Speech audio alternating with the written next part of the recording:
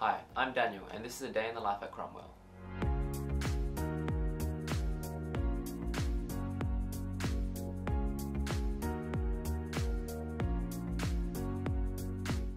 When I'm not at uni, I'm often studying in my room. One thing I love about the rooms here at Cromwell is the ergonomic and thoughtful design. I came all the way from Darwin and I have no trouble storing everything I have and need. And when I'm not in my room, I like to hang on the deck with my friends.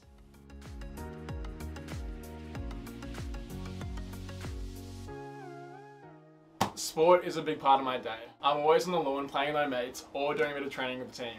Once I've done with my studies for the day, I've got all afternoon to hang out and play a bit of sports.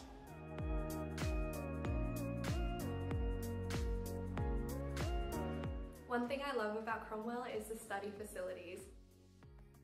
During the day, I need to spend a bit of time studying and there's plenty of facilities for that.